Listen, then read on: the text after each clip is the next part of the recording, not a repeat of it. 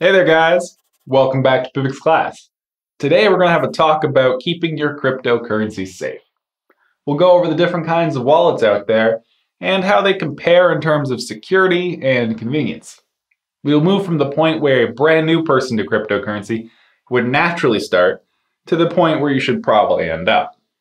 So this video should help you out no matter where you are in terms of experience. So, when most people get into crypto, the first place they hold some cryptocurrency is usually an exchange.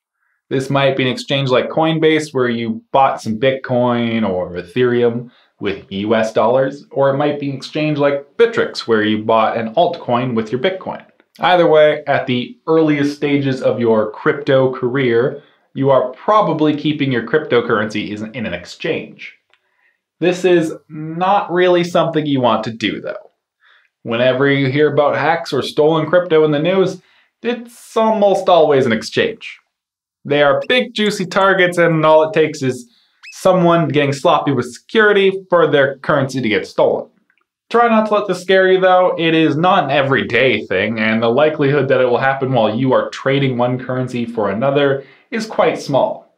It only really is a problem if you choose to leave your currency on there for long periods of time. The golden rule in cryptocurrency is that whatever wallet type you choose, you should be the one holding the keys. With an exchange, they are holding the keys. Speaking of types of wallets, let's quickly cover the difference between a hot wallet and cold storage.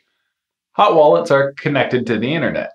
There are lots of types of hot wallets, and we'll cover a few during this video. The wallet an exchange manages for you is a hot wallet.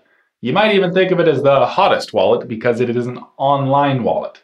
That's a subcategory that is described as always being online. Most of these are situations where a third party is managing the wallet and you have an account with them. The other broad category of wallets is cold storage. We'll cover the main two wallet types in this category towards the end of the video. Cold storage is when the wallet or address where their funds are stored is not connected to the internet. All right, so we as brand new users to cryptocurrency want to get our funds somewhere nice and safe.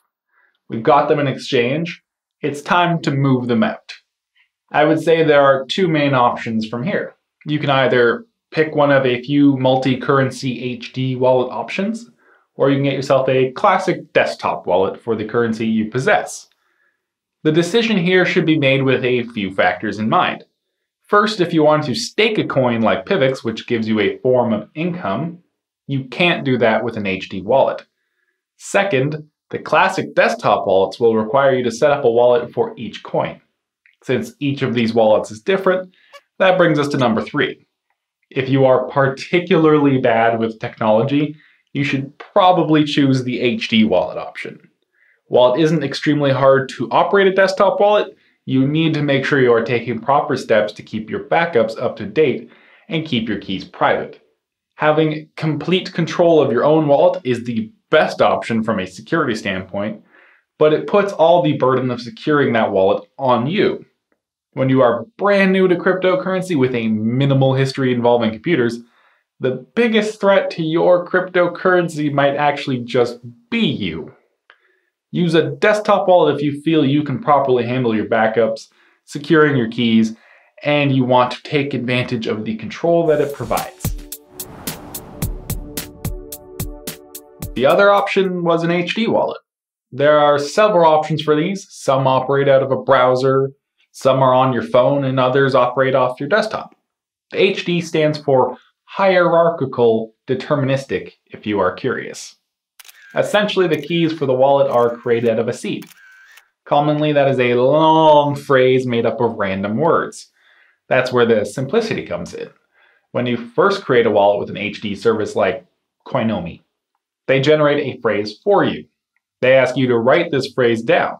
If you ever lose your device or forget the password, the only thing you need is that phrase.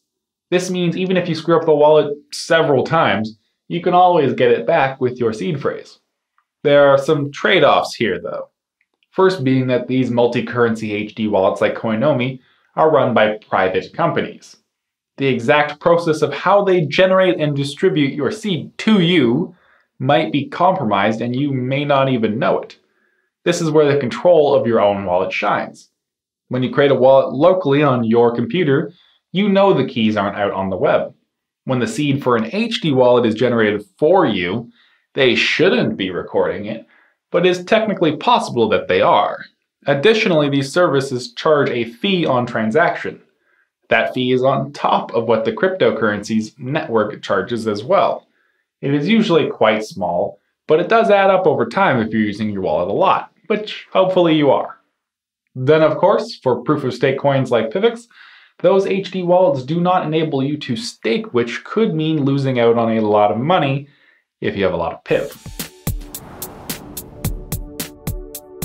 Regardless of whether you choose an HD wallet or a traditional desktop wallet, if you are in crypto long enough, you really should learn the intricacies of both. You may find yourself using both over time.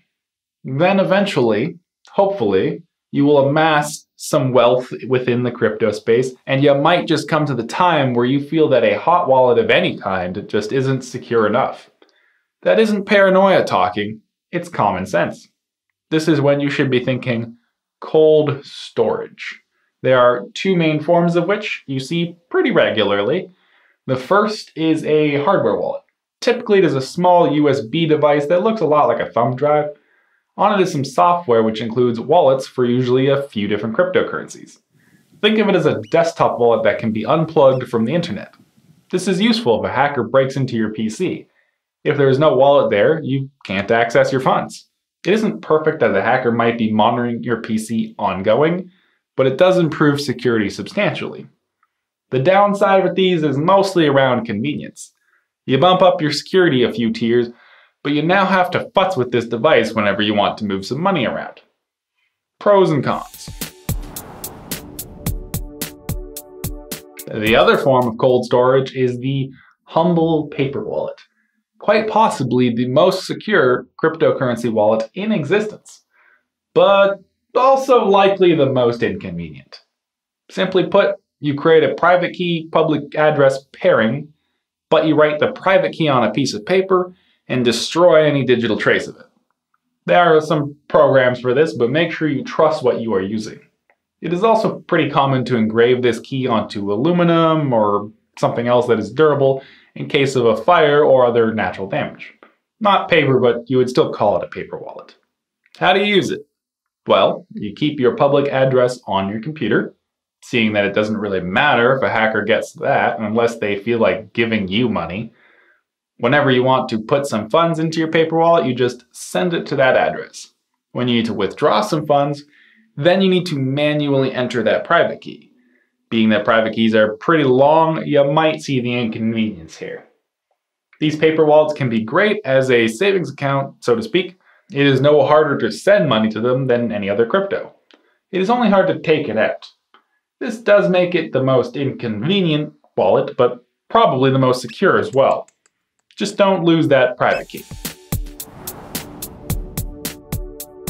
And that's wallet security in a nutshell. For those that are chasing strong security, whether you are tech adept or not, I recommend learning about hardware wallets and getting into that. It is probably the best security option that is still useful in day-to-day -day transactions.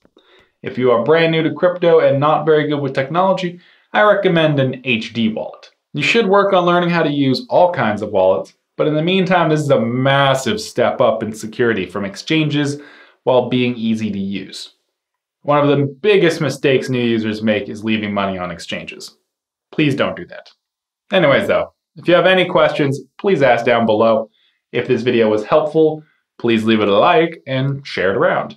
It can be a little hard to get educational messages out there on these platforms, so it helps me out a lot. Thank you for tuning in. I love having you here, and I will see you in the next PIVX class.